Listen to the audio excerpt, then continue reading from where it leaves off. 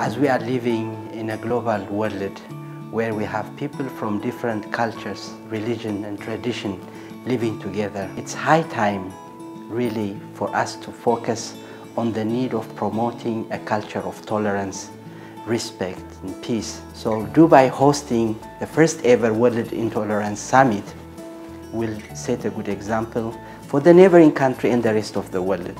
So instead of always hearing the sad news in the media, each and every one of us need to be part of a solution. To us, this is the pathway which will lead us to peaceful coexistence. We need to recognize the universal principle of the Universal Declaration of Human Rights, to recognize each and every one of us. And this summit will help us to cement and for us to move forward in that direction.